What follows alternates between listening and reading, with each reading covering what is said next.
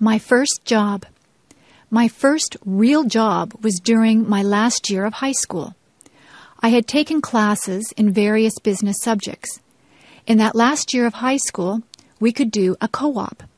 That meant we could work part of the time instead of going to school. It would count as a credit towards our diploma. The place I got a job was at a men's tailor shop. The owners were a very nice older German couple. They had two other men working for them, too. One of the men had had brain surgery for cancer. He had a big, long scar all around the top of his head. He told me all about it. He was always happy and full of fun. I thought he was very brave. The tailor shop made suits to order.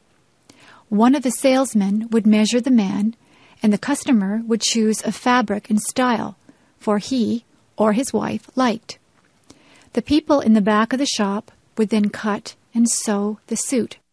The suits cost a lot of money.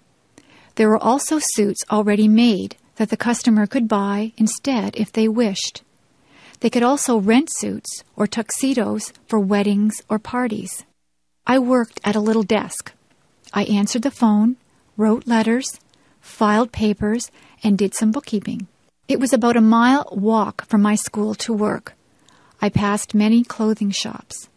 That wasn't good because I spent a lot of my money that I earned in those shops. I worked at the tailor shop for almost a year. It was a good experience and helped me get my next job with the United States Navy. That was fun too.